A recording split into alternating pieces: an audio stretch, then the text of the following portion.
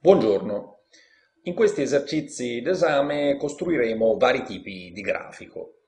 Grafici a barre a nastri, istogrammi, poligonali di frequenza, grafici cartesiani ed altri meno comuni ma non meno importanti. Effettueremo confronti grafici e ne interpreteremo i risultati. Ed infine, nell'ultimo esercizio, accennerò ad alcune semplici tecniche di manipolazione dei grafici che vengono utilizzate, non sempre in buona fede, per trasmettere un'idea distorta delle caratteristiche di eh, un insieme di dati. Di solito di un esercizio ti presento prima il testo, poi lo svolgimento e poi i risultati. Se lo vorrai potrai sempre saltare il mio svolgimento, cercare di risolvere da solo l'esercizio per poi confrontare i tuoi risultati con i miei. In qualche caso mi limito a presentarti solo il testo ed i risultati, senza svolgimento. Prendilo come un invito a fare da solo. Oh, per risolvere gli esercizi spesso utilizzo il foglio di calcolo. Eh, ti ricordo che eh, io mi servo del foglio di calcolo come di una sorta di calcolatrice scientifica. Non faccio ricorso alle sue funzioni matematiche e statistiche. Questo perché parto dal presupposto che in sede d'esame avrai con te solo carta, penna e calcolatrice e quindi cerco di insegnarti a risolvere gli esercizi solo con questi strumenti. In questo primo esercizio si parte dalle distribuzioni di frequenza di un carattere quantitativo discreto.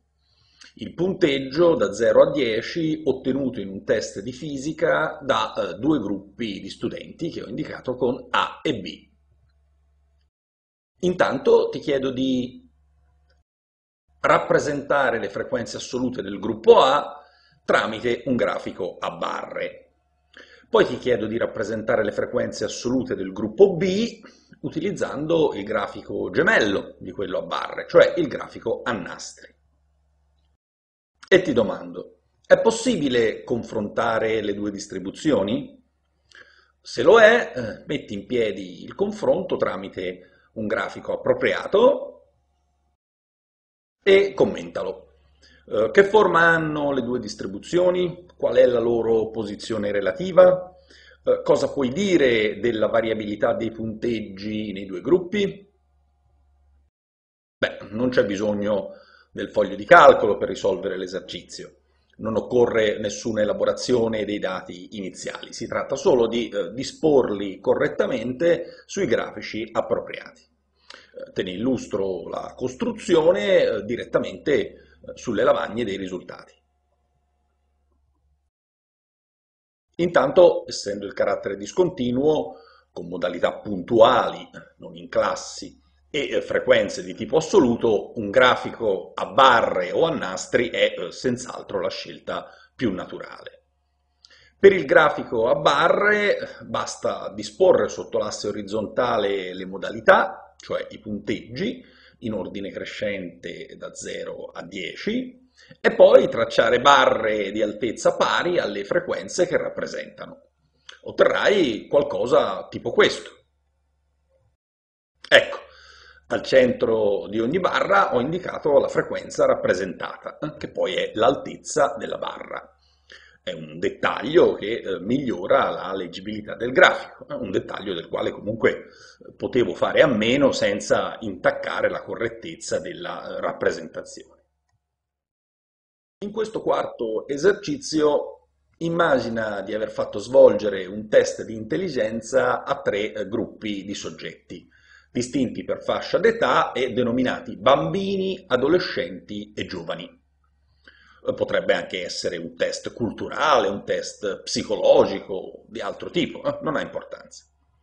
Supponi di eh, aver osservato il tempo in secondi impiegato da ogni soggetto per compilare il test e di aver organizzato i dati in queste tre distribuzioni di frequenza. Il carattere tempo di compilazione è continuo e come vedi le sue modalità sono raggruppate in classi. Bene, Eh, concentrati in primo luogo sulla distribuzione dei bambini e eh, prova a rappresentarla sia mediante un istogramma che mediante una poligonale di frequenza. Poi allarga la tua attenzione a tutti e tre i gruppi. Eh, quali sono le caratteristiche principali delle tre distribuzioni? Quali analogie e quali differenze noti? Prova a rispondere con un confronto grafico. Infine, riesci a farti un'idea delle funzioni di ripartizione del carattere nei tre gruppi? Detto in altri termini, quali sono le caratteristiche dei processi di cumulazione delle frequenze nei tre gruppi? Trasferiamoci sul foglio di calcolo. La tabella che vedi riporta nelle prime due colonne la distribuzione di frequenza assoluta del tempo di compilazione del test da parte dei bambini.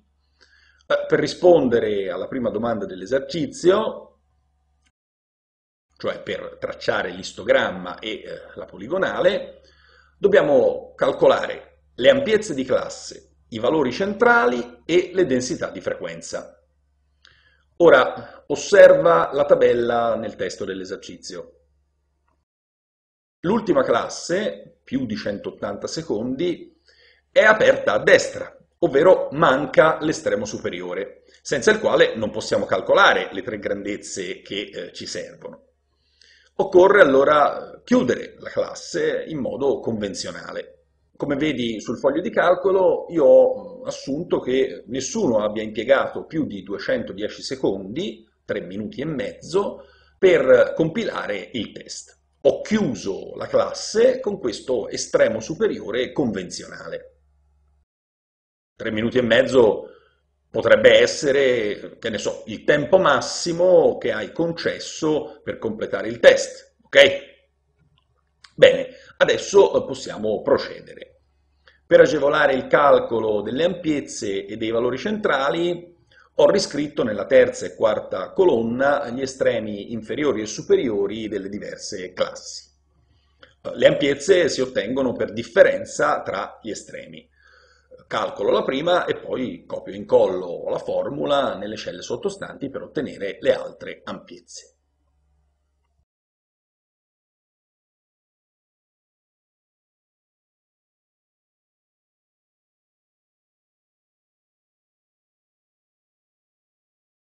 Ecco qua. Tutte le classi hanno la stessa ampiezza, 30. In questi casi è eh, prassi utilizzare direttamente le frequenze al posto delle densità, perché eh, i grafici che si ottengono sono esattamente gli stessi, eh, salvo aggiustare la scala dell'asse verticale. È una prassi che qualche volta utilizzerò anche io in seguito. Qui però mi attengo alla procedura generale, quella che utilizza le densità di frequenza. Le calcolo allora eh, dividendo le frequenze per le ampiezze.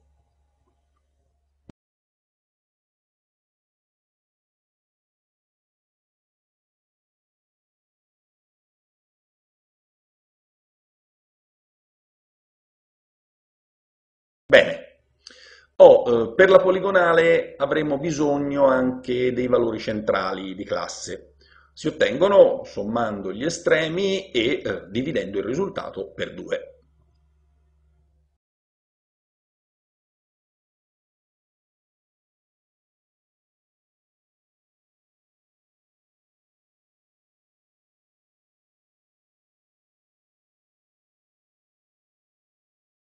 Ecco fatto.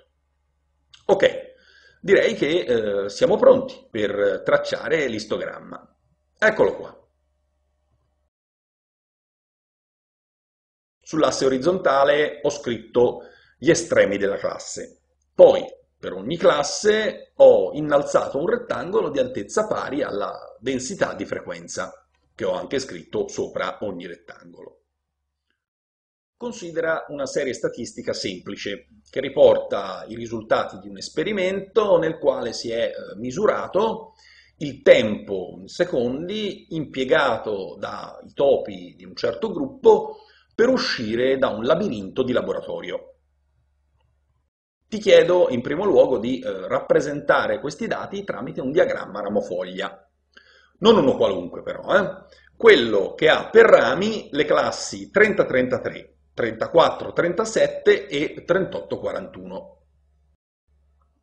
Poi eh, ripeti l'esercizio nel caso in cui i rami sono formati da una sola modalità. Nei complementi abbiamo visto che in questo secondo caso il diagramma ramofoglia è molto simile al dot plot. Verificalo su questi dati, rappresentando la serie mediante un dot plot. Infine, eh, ricava dalla serie una distribuzione di frequenza con modalità puntuali, eh, non in classi, e rappresentala con un grafico a nastri. Confrontalo con eh, i grafici tracciati nei due punti precedenti. Si assomigliano? Ok, eh, cominciamo. Anche se non è indispensabile, per tracciare un diagramma ramofoglia conviene sempre ordinare i valori della serie statistica eh, dal più piccolo al più grande. Ecco qua. Ho scritto solo le modalità, eh, tralasciando le unità statistiche che tanto non entrano in gioco nella costruzione del diagramma. Evidenzio con colori diversi eh, le modalità che ricadono nelle tre classi indicate. Bene, Ora è facilissimo costruire il diagramma. Elenco i rami, cioè le tre classi, uno sopra l'altro e a fianco di ciascun ramo scrivo le sue foglie, cioè l'ultima cifra di ogni modalità che cade nella classe. Questo è il risultato.